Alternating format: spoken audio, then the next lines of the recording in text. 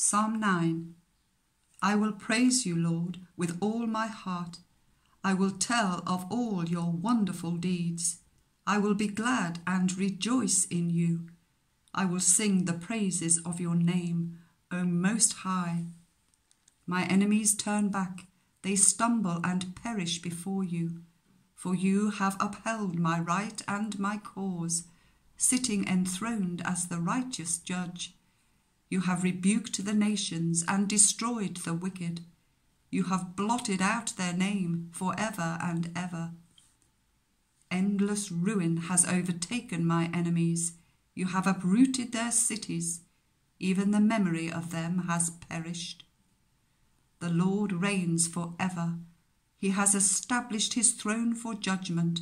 He rules the world in righteousness and judges the peoples with equity.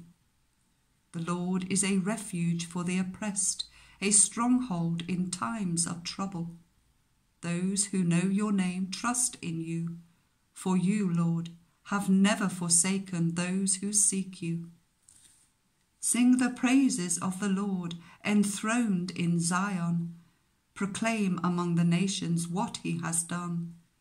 For he who avenges blood remembers he does not ignore the cries of the afflicted.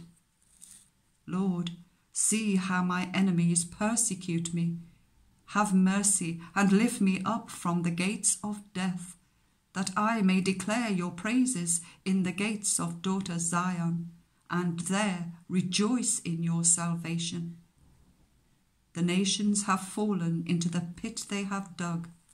Their feet are caught in the net they have hidden. The Lord is known by his acts of justice. The wicked are ensnared by the work of their hands. The wicked go down to the realm of the dead. All the nations that forget God. But God will never forget the needy.